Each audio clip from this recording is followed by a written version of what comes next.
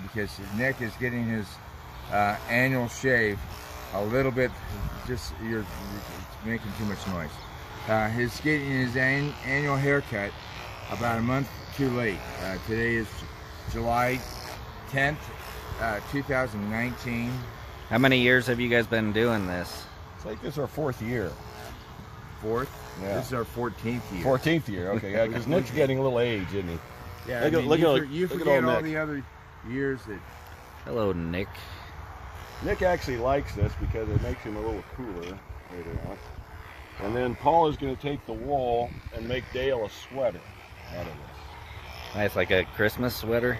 Yeah, this will make a fabulous, not your ugly sweater contest winner, but it'll make a fabulous sweater for going to the Bahamas. So you've been out. You guys have been out here for about eight hours. It was. Um, we started last night.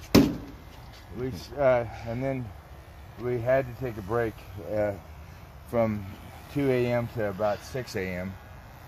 So, but um, but we just we just got too exhausted.